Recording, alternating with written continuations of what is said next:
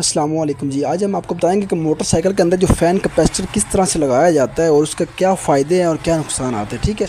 तो वो मुकम्मल आपको तरीक़ाकार बताएँगे कि उसके साथ आपकी बाइक कितनी बुश हो सकती है और कितनी नहीं, ठीक है? तो सबसे पहले हमने जनाब इस मोटरसाइकिल का जो पुराना करंट है ना, पहले जो ऑलरेडी उसके अंदर हमने कोई चेंजिंग नहीं की, कोई तब्दीली नहीं की, पहले हमने वो चेक करना ठीक है? ये चाइना की बाइक है तो बाइक को हमने स्टार्ट किया और ये जो करंट है ना, बिल्कुल कमज़ोर है और जैसे थोड़ी सी वायर अगर दूर करते हैं तो बाइक बंद हो जाती है। इसका जो करंट है ना, कमज़ोर है पहले वाला। वैसे भी चाइना की बाइक का जो करंट होता है ना, वो काफ़ी कमज़ोर होता है। इतना अच्छा करंट नहीं होता। जैसा कि होंडा सी डी सेवेंटी या वन फाइव का, ठीक है? तो ये हमने फ़ैन कैपेसिटर ले लिया थ्री शारिया फाइव यू एफ़ का, ठीक है? थ्री शारिया फाइव का ले लिया यू एफ़ फाइव फोर शारिया फाइव का ले लिया। उनका सेम ही रिज़ल्ट है, कोई डिफरेंट नहीं है। ठीक है? तो फ़ैन कैपेसिटर आपने ले लेना, ठीक है? तो और ये जो सी डी यूनिट है ना चाइना की बाइक के अंदर ये सिंगल ग्रिप वाला होता है। होंडा सी डी सेवेंटी के अंदर डबल ग्रिप वाला होता है। चाइना के भी किसी किसी बाइक के अंदर ये डबल ग्रिप होता है। ज़्यादातर सिंगल वाला ही होता है। लेकिन हमने इसके अंदर नहीं लगाना, ठीक है? हम ज़रा इसको और तरीके के साथ लगाएँगे, ठीक है?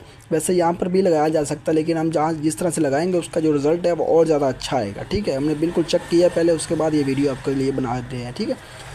तो ये जनाब हमने सीधे यूनिट को वापस फिटिंग कर दिया, ठीक है? यहाँ पर हम नहीं लगा रहे, ठीक हो गया?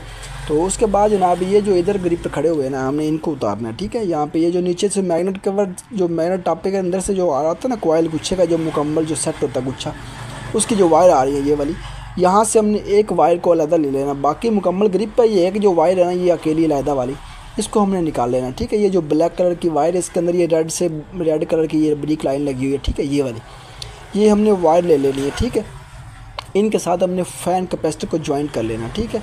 एक इसके साथ लगा देंगे और एक जो है वो इधर से उसके साथ लगा देंगे। ये जो आपस में ज्वाइंट हुई थी ना, वैसे ही हमें लगा देनी है किधर से उधर से। इसने सिर्फ़ जो है ना कैपेसिटर ने करंट को बूस्ट करना है, ठीक है?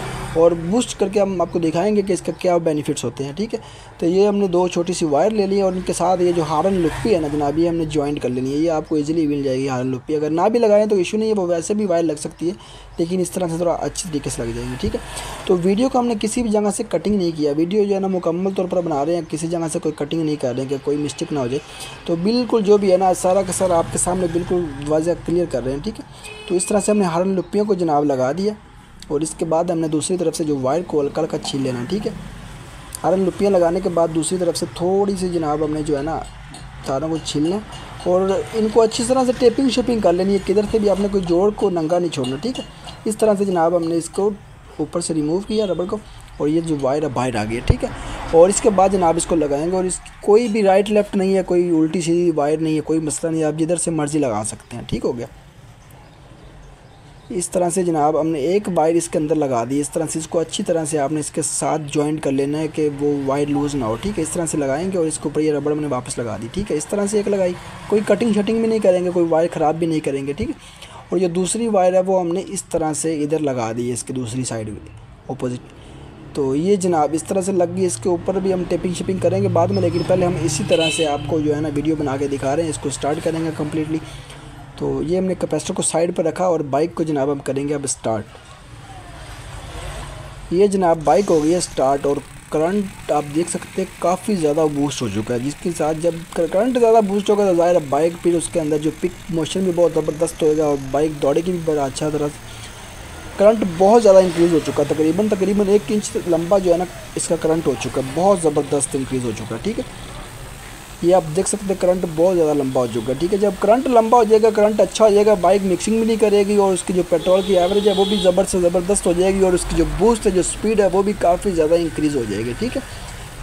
तो ये सिंपल सा इसका तरीका कार था जो हमने कैपेसिटी लगाया। इसके साथ आपकी जो बाइक की पेट्रोल एवरेज भी इंशाल्लाह बहुत ज़बरदस्त हो जाएगी और जो बाइक की मिक्सिंग वगैरह करती है किसी किस्म की भी, वो मिक्सिंग भी ख़त्म हो जाएगी। और बाइक की जो मेन चीज़ है ना जी, इसकी जो स्पीड है, वो बूस्टर बहुत ज़बरदस्त बूस्ट हो जाएगी। स्पीड बहुत ज़बरदस्त बूस्ट हो जाएगी, ठीक है? तो इस तरह से हमने, बाकी जनाब, इसकी जो टेपिंग शेपिंग है आपने अच्छी तरह से कर लेनी है। टेपिंग कोई भी आपने वायर नंगा नहीं छोड़ना, ठीक है? टेपिंग अच्छी तरह से करने के बाद जनाब, इसके टापे शापे की जो फिटिंग है, वो कंप्लीट हम वापस करेंगे। और जनाब, अगर वीडियो आपको अच्छी लगी तो वीडियो को लाइक करें। अगर चैनल पर नए हैं तो चैनल को सब्सक्राइब करो। यार, क्या कर रहे हो? अल्लाह हाफिज़।